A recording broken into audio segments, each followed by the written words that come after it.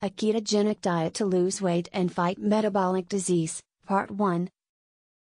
Obesity and metabolic diseases are major health problems worldwide. In 2016, obesity affected 13% of adults globally. Obesity is a risk factor of metabolic syndrome, a cluster of metabolic abnormalities, including type 2 diabetes, high blood pressure, high waist to hip ratio, and low HDL, good, cholesterol.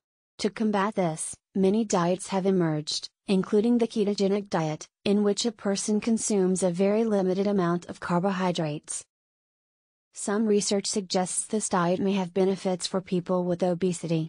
However, some experts have questioned the health benefits of the keto diet and called for more research.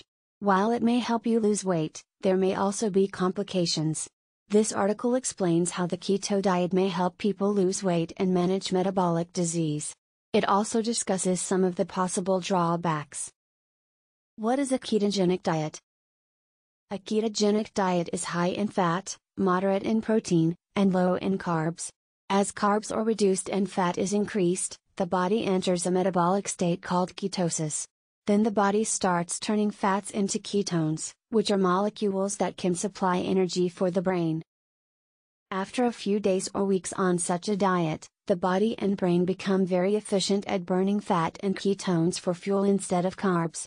The ketogenic diet also lowers insulin levels, which can be beneficial for improving insulin sensitivity and blood sugar management. Staple foods on a ketogenic diet include meat, fish, butter, eggs, cheese, heavy cream, oils, nuts, avocados, seeds, low carb vegetables.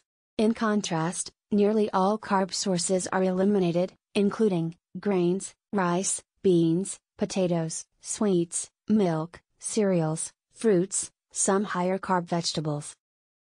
Bottom line a ketogenic diet is a high fat, moderate protein, and low carb diet.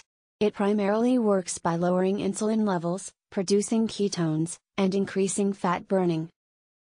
Ketogenic diets and weight loss. There's evidence that ketogenic diets can help with weight loss. They may help you lose fat, preserve muscle mass, and improve many markers of disease.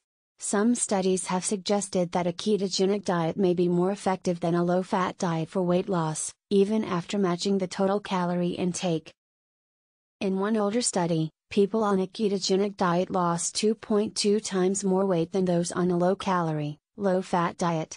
Triglyceride and HDL, good, cholesterol levels also improved. However, both groups reduced calorie consumption by a comparable amount, and this may have increased weight loss. Another 2007 study compared a low carb diet to the Diabetes UK's dietary guidelines. It found the low carb group lost 15.2 pounds, 6.9 kilograms, while the low fat group lost only 4.6 pounds, 2.1 kilograms. Over three months, the low carb diet caused three times more weight loss. However, there was no difference in HbA1c, ketone, or lipid levels between the groups. Also, those on the low carb diet also decreased their calorie intake. Finally, there was no difference in fat or protein intake between the two groups. This is important to note if people are increasing their fat intake because they are following a keto diet. However, there are contrasting theories for these findings. Some researchers argue the results are simply due to a higher protein intake, and others think there's a distinct metabolic advantage to ketogenic diets. Other ketogenic diet studies have found that the ketogenic diet may lead to reductions in appetite and food intake. This is extremely important when applying the research to a real life setting. If you dislike counting calories, the data suggests a ketogenic diet may be a good option for you. You can eliminate certain foods and don't have to track calories. If you follow the keto diet, you still have to check labels and keep track of your total grams of carbs each day which requires paying attention to food choices. However, keep in mind that many of the studies mentioned above had small sample sizes and only evaluated the short term effects of the diet. Additional research is needed to determine how the diet may impact weight loss in the long run and whether weight is regained once a normal diet is resumed. Bottom line The ketogenic diet is an effective weight loss diet that's well supported by evidence. It is very filling and usually does not require calorie counting. How do ketogenic diets promote weight loss? Here's how ketogenic diets promote weight loss higher protein intake. Some ketogenic diets lead to an increase in protein intake, which has many weight loss benefits. Gluconeogenesis. Your body converts fat and protein into carbs for fuel. This process may burn many additional calories each day. Appetite suppressant. Ketogenic diets help you feel full. This is supported by positive changes in hunger hormones, including leptin and ghrelin. Improved insulin sensitivity. Ketogenic diets can drastically improve insulin sensitivity, which can help improve fuel utilization and metabolism. Decreased fat storage. Some research suggests ketogenic diets may reduce lipogenesis, the process of converting sugar into fat.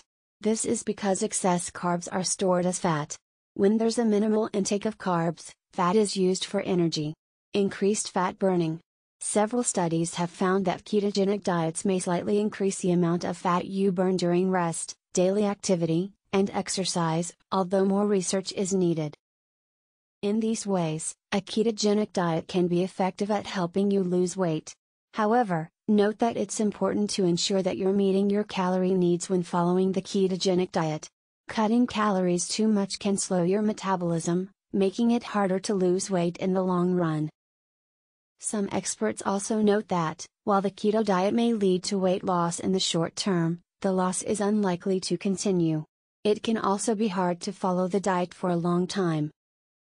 Bottom line, a ketogenic diet may help you burn fat, reduce calorie intake, and increase feelings of fullness, compared to other weight loss diets. What do you think? Let us know what you think below.